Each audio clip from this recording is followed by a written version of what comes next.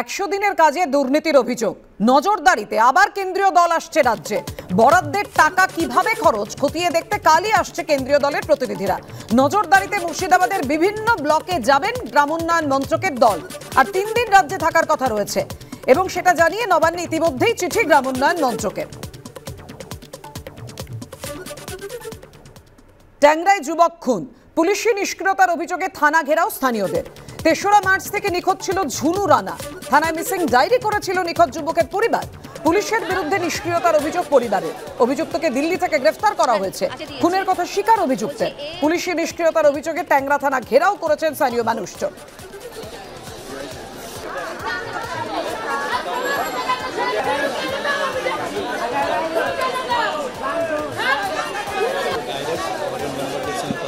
হ্যাঁ হ্যাঁ আচ্ছা দিয়েছি।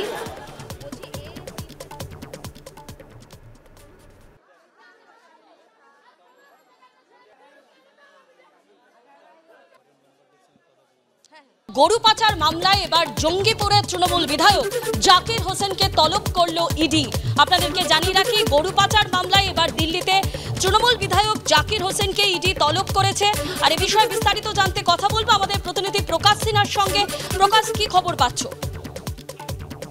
না, দেখো সোনালি, ইডি সূত্রের খবর যে জাকির হোসেনকে এই মাসের দু তারিখে প্রথমবার তলব করা হয়েছিল, নোটিশ পাঠানো হয়েছিল এবং দিল্লির ইডি সদর দপ্তরে তাকে ডাকা হয়েছিল, কিন্তু তিনি সেবার যাননি।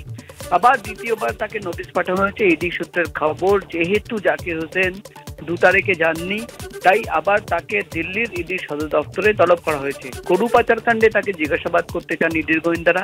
ইডি সূত্রের খবর, গরু পাচারকাণ্ডে তদন্ত করতে গিয়ে একাধিকবার জাকির হোসেনের নাম উঠে এসছে এবং তুমি জানো মুর্শিদাবাদের সীমান্ত এলাকা, সেখান থেকেই যেটা অভিযোগ উঠে আসছে যে গরু পাচার করা হতো বাংলাদেশে এবং যেহেতু সেই এলাকা তিনি প্রতিনিধি রয়েছেন এবং ইডি সূত্রের খবর একাধিক সেই এলাকার ব্যক্তিদের, সাক্ষীদের এবং পাচারকারীদের সঙ্গে কথা বলার পর জাকির হোসেনের নাম যেহেতু বারবার উঠে এসছে তাই তার বয়ান রেকর্ড করার জন্য, তাকে জিজ্ঞাসাবাদের জন্য এবং তার সঙ্গে কথা বলার জন্যই কিন্তু ইডির আধিকারিক এই মাসের দু তারিখে প্রথমবার তাকে তলব করেন। কিন্তু যেহেতু তিনি যাননি ইডি সূত্রের খবর আবার তাকে দ্বিতীয়বার কিন্তু তলব করা হয়েছে ইডির দিল্লির সদর দপ্তরে।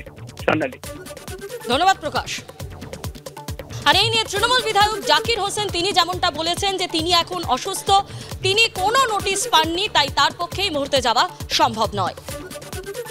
দোসরা মাছ ডেকেছিলাম নয় মার্চে পেয়েছিলাম।